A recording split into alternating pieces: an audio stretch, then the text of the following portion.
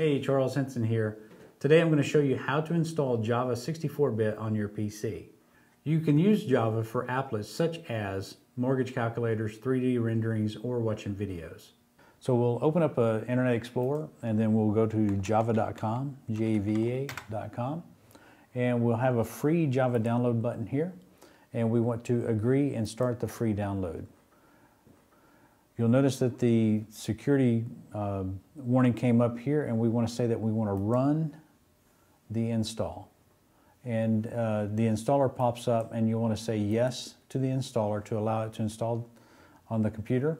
All right, here we're going to click on the install and it's going to download Java and we'll go ahead and close out our browser while it's doing that.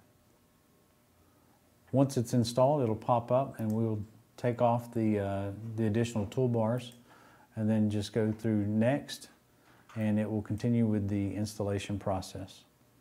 Once Java is installed, you can just click close. And now when you go to Internet Explorer and go to java.com, you can view uh, different apps that they have available online. Now that we have Java installed on your PC, we can use it for playing online games, calculating your mortgage, or other apps that are based off of Java.